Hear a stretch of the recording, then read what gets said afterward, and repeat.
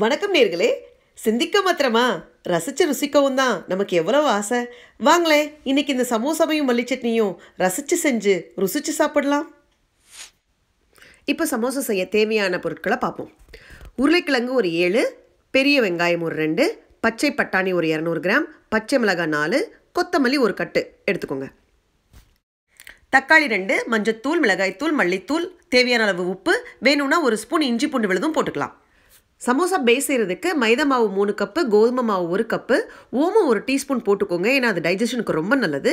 உப்பு தேவையான அளவு. முன்னாடி சொன்ன மாதிரி ஒரு ஏழு எட்டு உருளைக்கிழங்கு எடுத்து தண்ணியில் நல்லா வேக வச்சுக்கோங்க.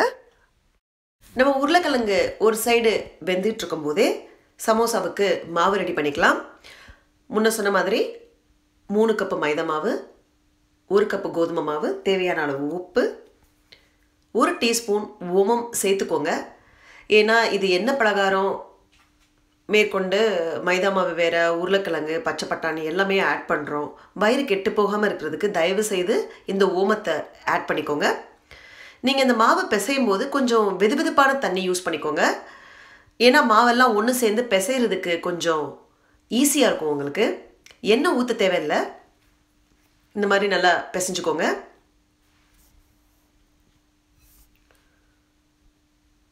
நல்லா மாவெல்லாம் ஒன்று சேர்ந்ததுக்கு அப்புறமா இப்படி ஒரு காட்டு காட்டுங்க. இப்போ சமோசாவோட மசாலா எப்படி பண்ணுறதுன்னு பார்க்கலாம். வெங்காயம் பச்சை மிளகா மல்லித்தலை அதெல்லாம் இந்த மாதிரி அரிஞ்சு வச்சுக்கோங்க. கொஞ்சம் அகலமான வானலை எடுத்து எண்ணெய் விட்டு சீரகம் கடுகு போட்டு தாளிச்சுக்கோங்க. அதோட நறுக்கி வச்ச பச்சை மிளகா வெங்காயம் ரெண்டையும் போட்டு நல்லா வதக்கி விடுங்க.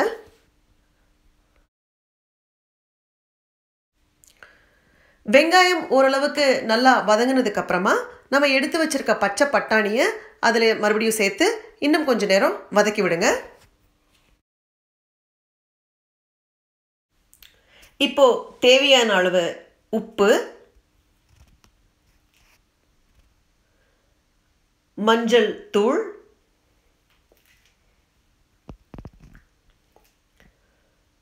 மல்லித்தூள் சேர்த்து நல்லா மறுபடியும் கிளறி விடுங்க. இப்போது ரெண்டு தக்காளி எடுத்து அரிஞ்சு வானலியில் அதை போட்டு மறுபடியும் நல்லா வதக்கி விடுங்க. இப்போது அரிஞ்சு வச்சுருக்க மல்லித்தலையையும் அதில் போட்டு வதக்கி விட்டுட்டு மூடி வச்சுருங்க கொஞ்ச நேரம்.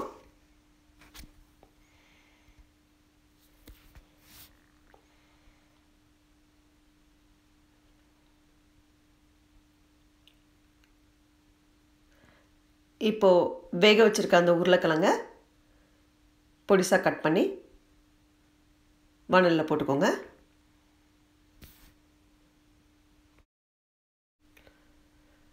நல்லா கிளறி விட்டு மறுபடியும் ஒரு ரெண்டு நிமிஷம் மூடி வச்சுடுங்க.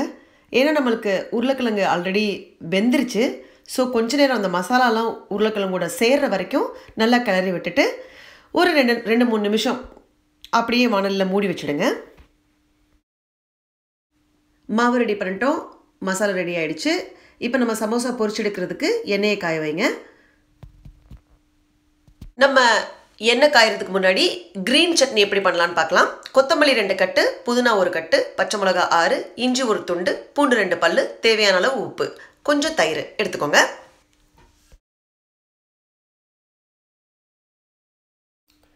நீங்கள் இங்கே பார்க்குறது காஞ்ச புதினா இலைகள். ஏன்னா இங்கே குளிர்காலத்தில் ஃப்ரெஷ் புதினா கிடைக்கிறது ரொம்ப கஷ்டம். அதனால் நான் என்ன பண்ணுவேன்னா கோடை காலத்தில் எங்கள் வீட்டு செடியிலேருந்து இலையெல்லாம் கழுவி காய வச்சு ஒரு டப்பாவில் அடைச்சி வச்சுப்பேன். ஸோ எப்போல்லாம் சட்னிக்கு தேவையோ நான் யூஸ் பண்ணிப்பேன் இந்த மாதிரி.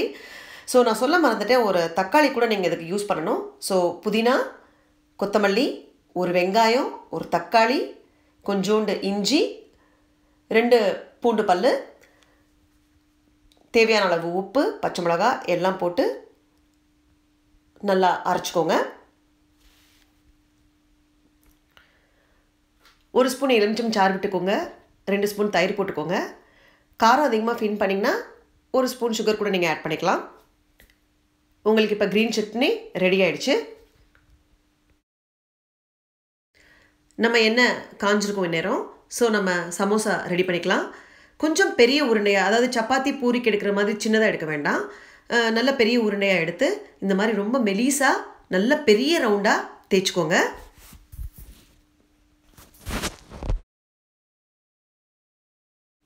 பாருங்கள் நல்லா பெருசாக மெலிசாக தேய்ச்சிட்டு நாலு ஈக்குவல் போர்ஷனாக கட் பண்ணிவிட்டு ஒவ்வொரு போர்ஷன்லேயும் கொஞ்சம் அந்த மசாலாவை வச்சு மூணே மடக்கு தான் ரொம்ப சிம்பிள் பாருங்கள் ஒரு கார்னர்லேருந்து எடுத்து அடுத்த கார்னரில் ரெண்டாவது மடக்கு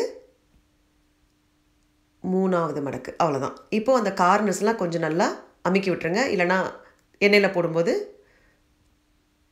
பிரிஞ்சுட்டு வந்துடும் ஸோ நல்லா அமுக்கி விட்டுட்டு இந்த மாதிரி எண்ணெயில் போட்டுருங்க. நாலு நாளாக போட்டுடுங்க. நல்லா முருக விட்டு எடுத்திங்கன்னா உங்களோட சமோசா ரெடி